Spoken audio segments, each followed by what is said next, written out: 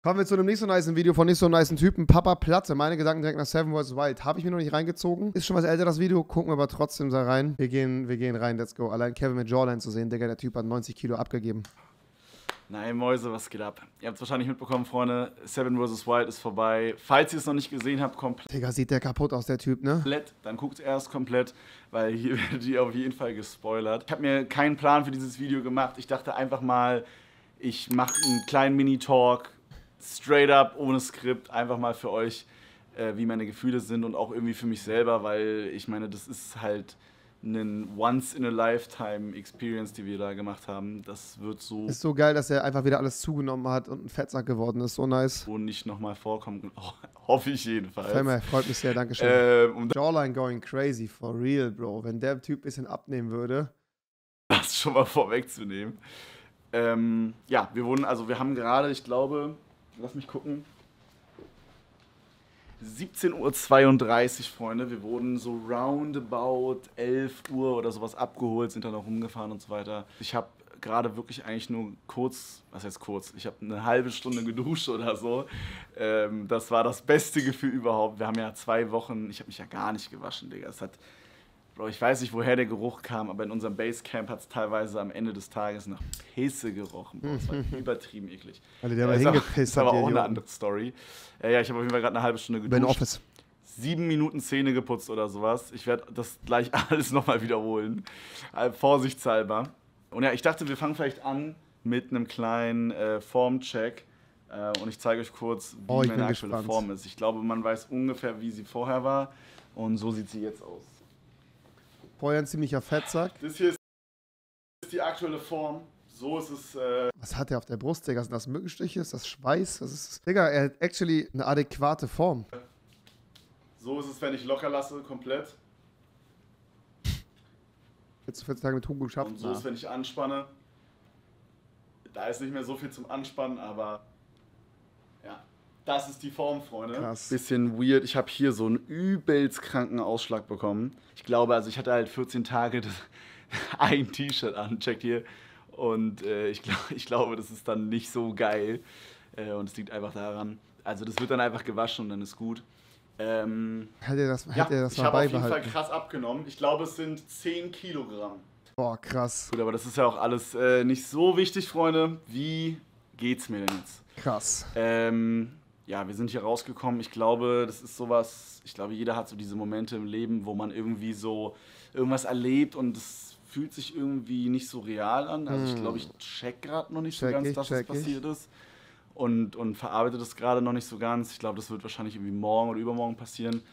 Aber über, also ich bin so froh, dass es endlich vorbei war. Es ist während wir, während wir da drin waren, haben wir sehr oft, vor allen Dingen off-cam, da haben wir nicht on-cam so viel drüber gesprochen, glaube ich, vor allen Dingen off-cam darüber gesprochen, so lohnt sich das, dass wir hier sind, so? Ist das was, was uns irgendwie privat weiterbringt oder halt auch so, ne, so auf Ey, safe, ich glaube schon, so persönlichkeitsmäßig ist, ist das crazy. dass wir da das kann schon nochmal gut den Content Kopf und Reach und irgendwie diese Sachen auch irgendwie drin sind. Das den ist Kopf nicht das Main-Ding, aber so, es ist auf jeden Fall auch, ne, ist auch ein Ding. Und ich muss sagen, während wir da drin waren, war ich oft der Meinung, dass es hier sich so semi lohnt. Also muss ich euch ganz ehrlich sagen, ne, ohne dass es jetzt irgendwie missgünstig den anderen kling, äh, so gegenüber klingen soll, aber als es gab so eine Stelle, wir wurden abgeholt und dann ist, also wir waren drei Leute in dem Boot, beziehungsweise drei Teams. Ähm, das Team Knossi und Sascha, Hanna und Affe und wir. Und wir waren halt die ganze Zeit so, ja, okay, wo wir holen Fritz? halt noch ein Team ab und so. Und wo ist halt Fritz, wo ist denn Martin? Die haben uns halt auch so erzählt, yo, wir machen jetzt auch irgendwie Whale-Watching und so, um so uns ein bisschen hinzuhalten und sowas. Und wir wussten die ganze Zeit nicht, wo wir hinfahren. Und dann waren wir an einem Basecamp angekommen. Und da standen halt die anderen, Trimax, und, so. und wir dachten so, ah, okay, die wurden mit einem anderen Boot abgeholt. Und dann hat Dave gesagt, alle Leute, die hier auf dem Boot sind, sind die einzigen Leute, die 14 Tage geschafft haben. Bro. Digga, krass. Krasser Moment. Das war so krass. Also ich meine, das hat sich auch schon vorher gelohnt und ich war vorher sehr, sehr glücklich. Aber das war so... Krank Alter, rewarding. Das war krass. Ja. Das war... Das ist irgendwie ein heftiges Gefühl. Also wie gesagt, ohne dass es jetzt irgendwie böse gegen den anderen über irgendwie klingen soll. Das ist am Ende des Tages muss man sagen, ist es auch einfach eine große Glückssache, wirklich. Ähm, Aber das, ich finde, das macht es dann in meinem Kopf nochmal irgendwie heftiger.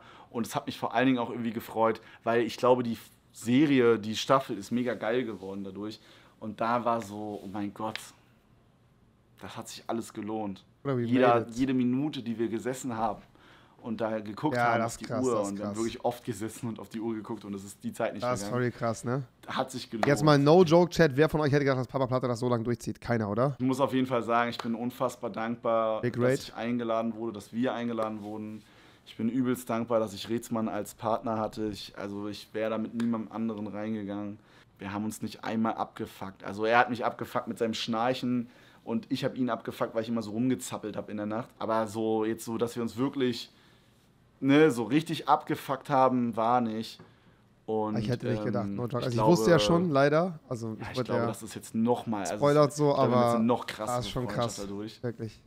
Und es fühlt sich gerade so an, äh, als könnte man einfach alles schaffen. Es ist einfach, es ist einfach wirklich ein unbeschreiblich schon geiles krass. Gefühl.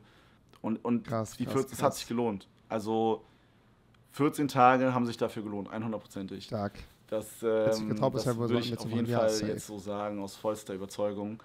Und ähm, ich fand es auch einfach irgendwie krass zu sehen. Ich wusste nicht so ganz, ich, ich kannte so ein bisschen von dem Trimax sieben dumm. Tage nicht essen Stream, dass man Danux, halt sieben Tage nicht essen kann. Und ich weiß auch, dass man irgendwie so zwei, drei Wochen ohne Essen schafft.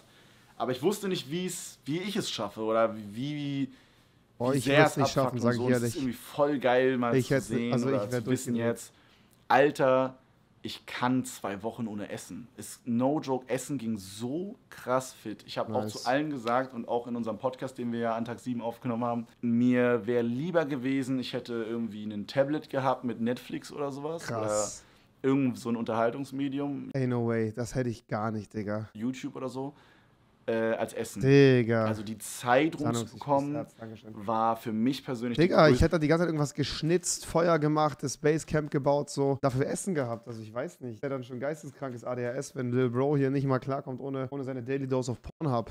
Challenge, weil keine Ahnung, seit ich klein bin, mache ich so immer irgendwas, bin immer hier und da, äh, muss immer irgendwas machen und so. Und ich finde es auch übelst geil, aber so, ja, auf einmal bist du halt in der Wildnis und ja, maybe also, gewöhnt man sich auch halt dran, ne? nichts. Das Einzige, was ich hatte zum Spielen, waren Stöcker, Wurzeln und eine Schnur. Und ich habe dann angefangen in, in so eine Schnur, das habe ich auch, glaube ich, gar nicht gefilmt. Ich habe in so eine Schnur, habe ich versucht, das war so eine lange Schnur, Ganz viel wie viele Knoten kann ja. ich da reinmachen? Und als ich dann das fertig geknotet habe, habe ich es wieder aufgeknotet und das habe ich locker fünfmal wiederholt oder sowas.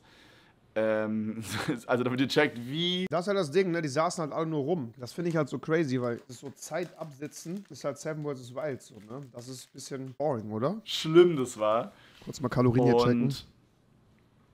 Ja, oh, ja, also das ist auf jeden Fall krass. Oh ja. Und, und ich habe einfach das Gefühl, das ist so eine Story einfach, die wird man seinen Kindern und auch seinen Enkelkindern erzählen. Ja. Und dann wird man so, dann wird man so dieser straight. coole Opa sein, der seinen Kindern was erzählen kann und erzählen wird. Und das, ich glaube, das ist. Ich glaube, am Ende des Tages machen wir es dafür, wisst ihr? Eine weitere Sache, die ich gemerkt habe, während ich da drin war, ist, Kraft, äh, dass mir halt Familie wirklich, also ich muss mir mehr Zeit nehmen für Familie.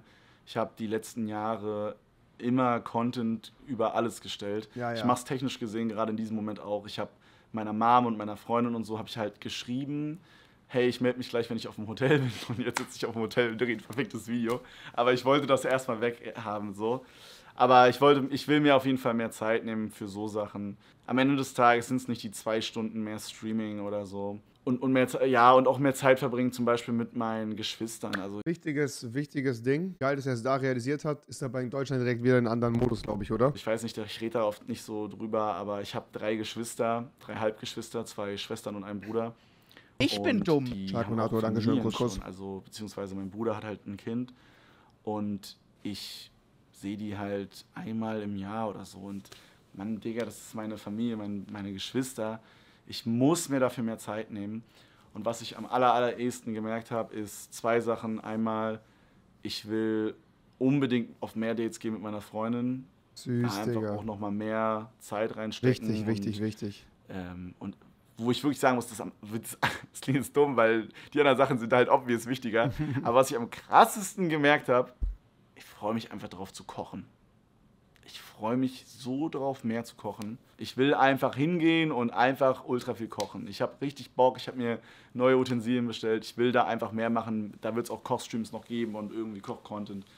Einfach mehr Ist alles nicht passiert. No joke, oder? Alles gecapped. kochen. Das ist einfach so ein wichtiger Skill.